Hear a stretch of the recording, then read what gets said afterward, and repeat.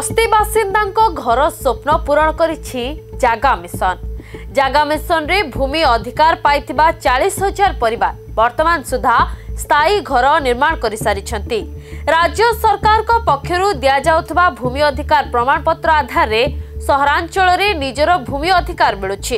ଏହାଦ୍ୱାରା ବସ୍ତି ବାସିନ୍ଦାମାନେ ବିଭିନ୍ନ ଯୋଜନାରେ ଗୃହ ନିର୍ମାଣ କରିବାରେ ସକ୍ଷମ ହୋଇପାରିଛନ୍ତି। ଏହି ଆଧାରରେ ପିଏମ୍ୱାଇ ଯୋଜନାରେ ହିତାଧିକାରୀମାନଙ୍କୁ ଘର ପ୍ରଦାନ କରାଯାଉଛି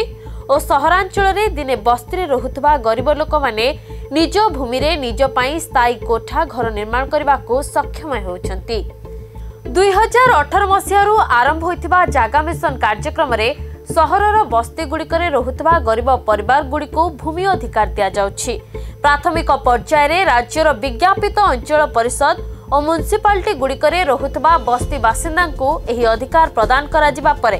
ଅଗଷ୍ଟ ଅଠେଇଶ ତାରିଖ ଦିନ ମହାନଗରବାସୀଙ୍କୁ ମଧ୍ୟ ମୁଖ୍ୟମନ୍ତ୍ରୀ ନିଜସ୍ୱ ଜମି ଅଧିକାର ପ୍ରଦାନ କରିଛନ୍ତି। ଏହାର ପ୍ରମାଣ ସ୍ୱରୂପ ପଞ୍ଚଷଠି ହଜାର ମହାନଗରବାସୀଙ୍କୁ ଭୂମି ଅଧିକାର ପ୍ରମାଣପତ୍ର ପ୍ରଦାନ କରାଯାଇଛି। ଏହି ଆଧାରରେ ବର୍ତ୍ତମାନ ନିଜ ଭୂମି ପ୍ରମାଣପତ୍ରକୁ ନିଜ ଜମି ପ୍ରମାଣପତ୍ର ସ୍ୱରୂପ ବ୍ୟବହାର କରି ଏହି ହିତାଧିକାରୀମାନେ ପ୍ରଧାନମନ୍ତ୍ରୀ ଆବାସ ପାଇଁ ନିବେଦନ କରିବାକୁ ଯୋଗ୍ୟ ବିବେଚିତ ହୋଇଛନ୍ତି ଏଥିସହ ଭୁବନେଶ୍ୱର ବ୍ରହ୍ମପୁର କଟକ ସମ୍ବଲପୁର ଓ ରାଉରକେଲା ଆଦି ପାଞ୍ଚ ମହାନଗର ନିଗମର ଆଠଶହ ପଚସ୍ତରୀ ବସ୍ତିରୁ ପଞ୍ଚଷଠି ହଜାର ପରିବାରକୁ ପଟ୍ଟା ବଣ୍ଟନ କରାଯାଇଥିଲା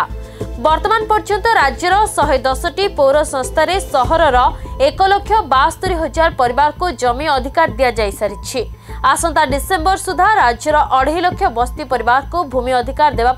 রাজ্য সরকার লক্ষ্য রাখি রিপোর্ট নিউজ আড্ডা ওড়শা